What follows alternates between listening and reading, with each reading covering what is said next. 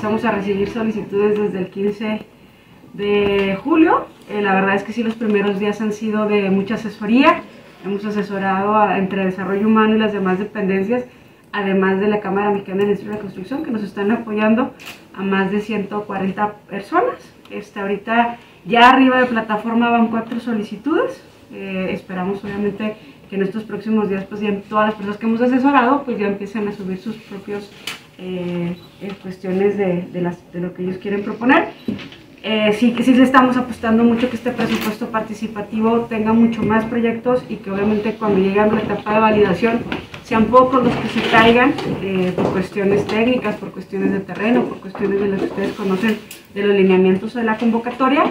¿Para qué? Para que obviamente haya más proyectos que se vayan a la consulta, más participación de todos los chihuahuenses en la capital y pues eso es lo que estamos, por eso tanta tanta cuestión de asesoría y por eso insistimos tantos que se acerquen a las diferentes direcciones o que vayan a CEMIC